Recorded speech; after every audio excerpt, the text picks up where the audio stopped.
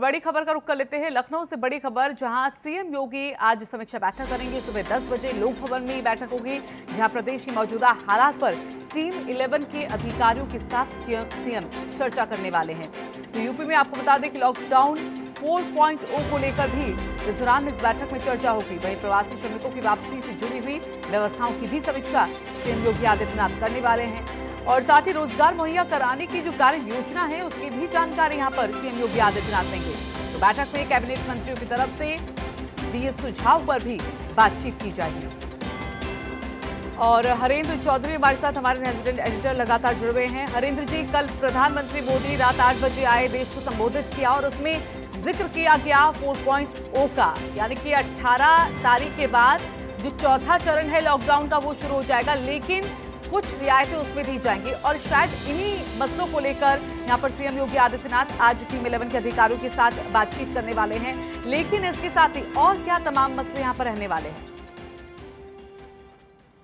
बिल्कुल रितु जब कल प्रधानमंत्री मोदी रात रात के नाम उन्होंने संबोधन किया था तो एक बात साफ़ हो गई थी कि लॉकडाउन 4.0 की शुरुआत होने वाली है 18 मई से इसकी शुरुआत होगी। हालाँकि कब तक ये चलेगा, ये इसकी ऐलान जो है बाद में किया जाएगा, लेकिन नए रूप में होगा और नए तरीके नई तरीके से इसको लॉकडाउन 4.0 को लागू किया जाएगा। ये बात प्रधानमंत्री मोदी की तरफ़ से कही गई और ये मुख्यमंत्री सभी प्रदेश के मुख्यमंत्रियों के साथ जो एक दिन पहले वीडियो कॉन्फ्रेंसिंग के ज़रिए बात हुई थी उसके बाद रात के नाम जो संबोधन हुआ अब ऐसे में अलग अलग प्रदेशों में लॉकडाउन फोर की क्या स्थिति रहने वाली है उसको लेके क्या क्या हम्म। ज़रूरी इंतज़ाम है उस बात को लेके जो है राज्य जो सुझाव दिए गए उस पर अमल करने की जो बात है आज जब समीक्षा बैठक 10 बजे मुख्यमंत्री योगी आदित्यनाथ जो है अपने कार्यालय लोक भवन में टीम इलेवन के अधिकारियों के साथ करेंगे तो सबसे बड़ा अहम मुद्दा लॉकडाउन फोर पॉइंट को लेके होगा कि इस दौरान कौन कौन सी ऐसी जो छूट है रियायतें हैं जो जो ग्रीन जोन के अलावा ऑरेंज जोन और रेड जोन में दी जा सकती है इस बात को लेकर हम्म। चर्चा होगी हालाँकि ये जो एडवाइजरी होगी यूनियन गवर्नमेंट की तरफ़ से जारी करने के लिए बात है लेकिन